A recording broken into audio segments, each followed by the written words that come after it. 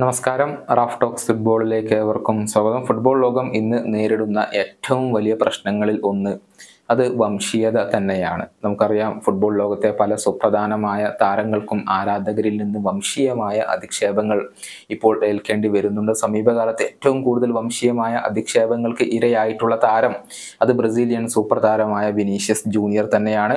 കൂടാതെ മൈക്ക് മൈഗ്നനെ പോലെയുള്ള പല താരങ്ങൾക്കും ഇത്തരത്തിലുള്ള മോശമായ പെരുമാറ്റങ്ങൾക്ക് സാക്ഷിയാവേണ്ടി വന്നിട്ടുണ്ട്. ഇതിനെതിരെ ഫിഫയും ഫിഫയുടെ പ്രസിഡന്റായ ജിയാനി ഇൻഫാന്റിനോയും സംയുക്തമായി കൊണ്ട് ഒരു സ്റ്റേറ്റ്മെന്റ് ഇറക്കിയിരുന്നു. ഫുട്ബോളിൽ നിന്നും വംശീയതയെ തുടച്ചു നീക്കാൻ വേണ്ടി ഒന്നിച്ചു നിൽക്കും എന്നായിരുന്നു ഇവരുടെ പ്രഖ്യാപനം. കൂടാതെ പല കാര്യങ്ങളും ഈ ഒരു സ്റ്റേറ്റ്മെന്റിൽ അവർ പറഞ്ഞിട്ടുണ്ട്. എന്നാൽ ഇതിന് ഈ ഒരു കാര്യത്തിൽ ചില ഉപദേശങ്ങൾ നൽകിക്കൊണ്ട് മാഞ്ചസ്റ്റർ യുണൈറ്റഡിന്റെ സൂപ്പർ താരമായ റാഫേൽ വരാന് ഇപ്പോൾ രംഗത്ത് വന്നിട്ടുണ്ട്.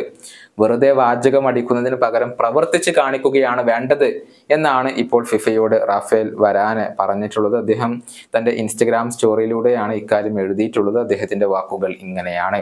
പ്രവർത്തിക്കുകയാണ് വേണ്ടത്. അതിനാണ് വാചകത്തേക്കാൾ കൂടുതൽ ശബ്ദമുള്ളത്. ഞങ്ങളുടെ പ്രകടനത്തിൽ തീർച്ചയായും ആരാധകർക്ക് വലിയ പ്രതീക്ഷകൾ ഉണ്ടാകും. അതേസമയം ഞങ്ങളുടെ ലീഡർമാർ അവരുടെ നല്ലതിനു വേണ്ടി ഉപയോഗിക്കും. അവരുടെ ആ ഒരു പവർ നല്ലതിനു വേണ്ടി ഉപയോഗിക്കും എന്നുള്ള ഒരു പ്രതീക്ഷകൾ ഞങ്ങൾക്കുണ്ട്.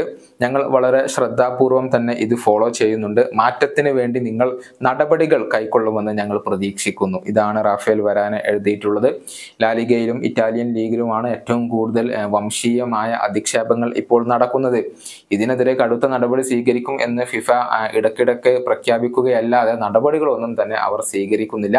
യു എഫ് എയും ഇതുപോലെ തന്നെയാണ്. അതുപോലെ തന്നെ ഓരോ രാജ്യങ്ങളിലെയും അസോസിയേഷനുകൾ നടപടികൾ സ്വീകരിക്കുന്നുണ്ടെങ്കിലും ആ ഒരു ശിക്ഷകൾ വളരെ ചെറിയതാണ്. അതുകൊണ്ട് തന്നെ ഇപ്പോഴും വംശീയമായ അധിക്ഷേപങ്ങൾ തുടരുകയാണ്. ഇതിനെതിരെ ശക്തമായ നടപടികൾ കൈക്കൊള്ളണമെന്ന് തന്നെയാണ് റാഫേൽ വരാനെ ഉൾപ്പെടെയുള്ളവർ ഇപ്പോൾ ആവശ്യപ്പെടുന്നത്.